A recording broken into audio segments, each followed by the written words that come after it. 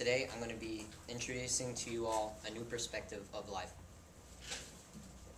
Um, this TED Talk won't be talking about um, fancy pieces of technology or anything like that. I'm going to be talking about how to better yourself.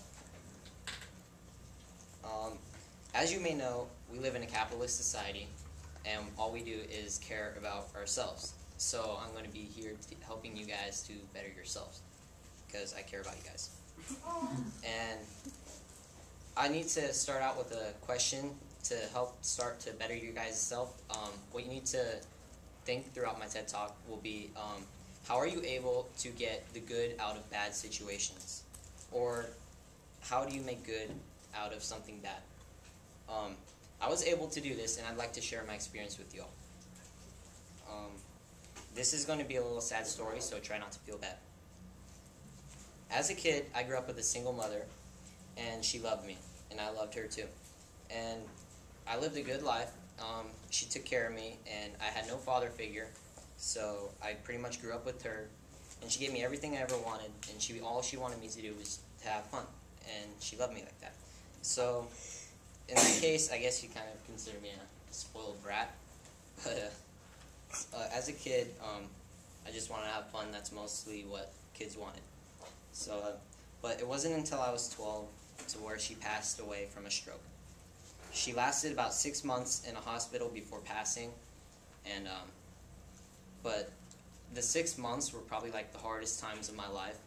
So I want you to keep that in mind. And when I came here, I moved out here with my uncle, my mom's brother, and I came out here and completely like in this alien environment, I felt lost and I didn't know really who I was at the time but I found a solution. Um, I went on with life and persevered myself.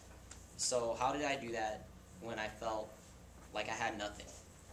What I did was I used my own hardship to motivate myself. I, uh, I wanted to make my mom proud in this case, and I wanted to finally give her a real reason for her to be proud of me. So I later became serious in my schooling and I found a sport that I became my uh, sole passion.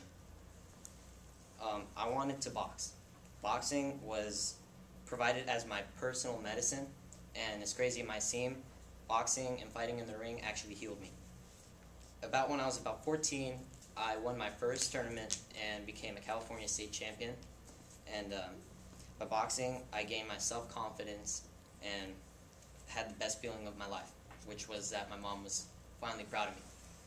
And boxing helped me also uh, help me keep discipline schedule. So I actually ended up, um, let's see, like getting straight A's for the first time in my life. So that was really inspiring, and I continue uh, to try my best to excel today.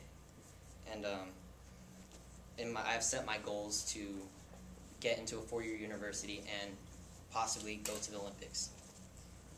I recently uh, contacted my dad's side of the family, only to find that he passed away just two months after my mom as well. Um, this was hard for me, but at the same time also inspiring again. Um, I found out that he played for the Dodgers for a short time before hurting his knee, but it was inspiring to find out that I had new family that was ready to see me succeed, and I wanted to succeed for them. Now I want to for you guys to think back on your hardest times in life and embrace it. Because what you need to do is find motivation from that hardship in your life and make something of yourself from that.